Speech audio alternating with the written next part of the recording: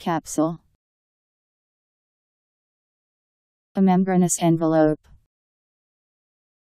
A type of simple, dehiscent, dry fruit seed case produced by many species of flowering plants, such as poppy, lily, orchid, willow and cotton.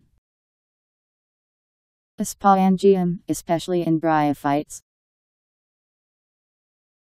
C A P S U L E Capsule